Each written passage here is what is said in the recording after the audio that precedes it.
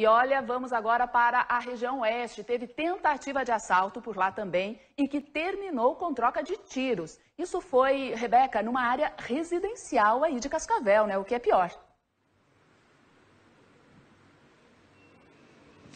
Hoje, um ótimo dia para você e a todos que acompanham o Paraná no ar. É exatamente o que é muito pior. Área residencial, inclusive perto da UniOeste, local aí de grande circulação de estudantes, pessoas passando ali pela região o tempo todo.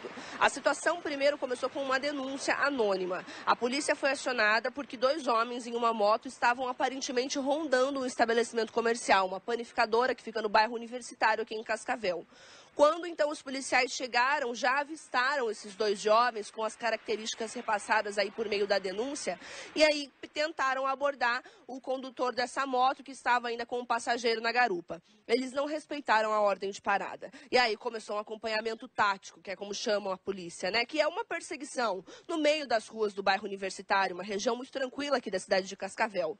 No entanto, ficou movimentada com essa ação policial. Foi acionar, foram acionadas ainda várias viaturas para dar apoio apoio, porque esses homens, eles seguiam de moto em, moto em altíssima velocidade e o que estava no passageiro, na garupa, começou a atirar contra a viatura da Polícia Militar.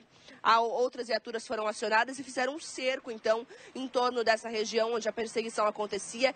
Os criminosos chegaram a pular o muro da UniOeste, correr em meio ao campus e até mesmo chegaram à horta municipal aqui, do, aqui da cidade de Cascavel, um local onde sempre tem pessoas aí, famílias procurando procurando, comprando aí a, as, as verduras oferecidas. Eles então seguiram armados, com arma em punho, atirando contra policiais, correndo em meio a esses locais públicos de grande circulação de pessoas, até que a PM, então, com apoio de várias viaturas, que, como eu disse, fizeram o cerco ali em toda a região, conseguiram pegar um dos criminosos, um jovem de 23 anos, que tinha um mandado de prisão em aberto, porque é acusado de um homicídio que aconteceu em Nova Londrina. Ele foi preso, encaminhado para a delegacia delegacia aqui de Cascavel, onde permanece então detido. A arma que estava com ele também foi apreendida. No entanto, a moto utilizada na tentativa de fuga e ainda o outro comparsa não foram encontrados. Gi.